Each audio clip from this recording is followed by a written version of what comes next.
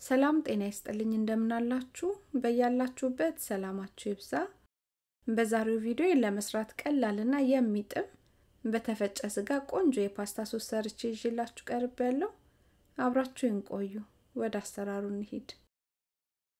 ቪዲዮን አሰራሬን አይታችሁ ከወደዳችሁት like እና comment በማድረግ ማበረታታቱን አትርሱት። አመሰግናለሁ።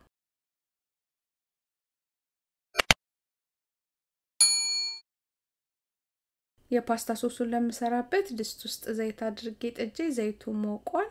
ሁለት ተለቅ ተለቅ ያሉ ቀይ ሽንኩርቶችን ደቀቅ አድርጌ ከትፌ አዘጋጅቻለሁ። ሽንኩርቱን አስገብቼ አብሬ አቁላላቸዋለሁ።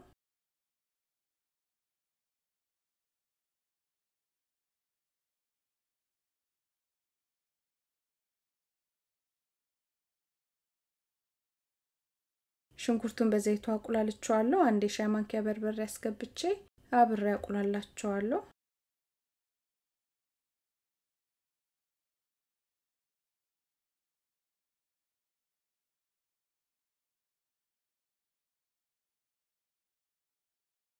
በርበሬውን ከሽንኩርቱ ጋር በደንብ አቁላልቸዋለሁ። ግማሽ ኪሎ የሚሆን የተፈጨ የበሬ ስጋ አስገብቼ አብሬ አቁላላቸዋለሁ።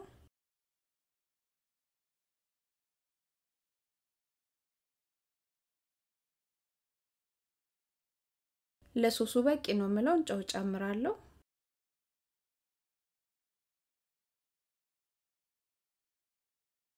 ለማጣፈጫ ግማሽ የሻይ ማንኪያ ኦሬጋኖ፣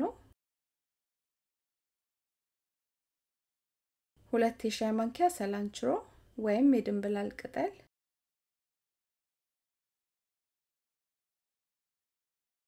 ግማሽ የሻይ ማንኪያ የጦስኝ ቅጠልና አንድ የሻይ ማንኪያ ቁንዶ በርበሬ አስገብቼ ቁሌቱን በደንብ አቁላለዋለሁ።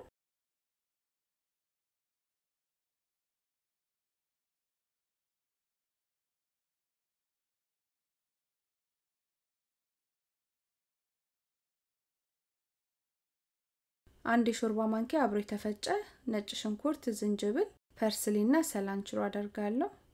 አዘገጃጀቱን ቪዲዮን ውስጥ ታገኙታላችሁ ወይም link ኡን የ description box ውስጥ አስቀምጥላችኋለሁ እና የ comment መስጫው ላይም ታገኙታላችሁ።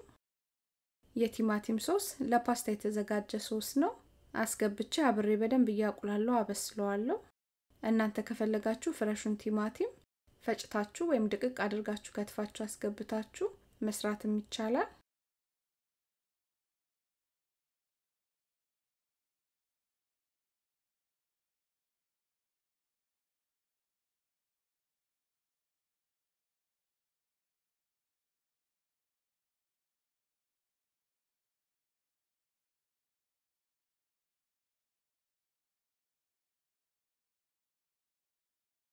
የፓስታ ሶሱን ቆንጆ አድርጌ ሰርቻ አብስየዋለሁ።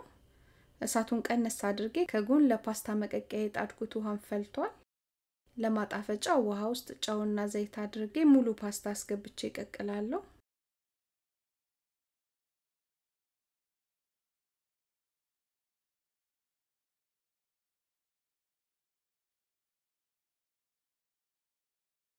ለመስራት በጣም ቀላል የሚጥም የፓስታ ሶስ አሰራር ነው። ሞክሩት፣ ቆንጆ ነው፣ ትወዱታላችሁ። አብራችሁኝ ስለነበራችሁ ከልብ እያመሰገንኩ የዛሬን በዚያ በቃው።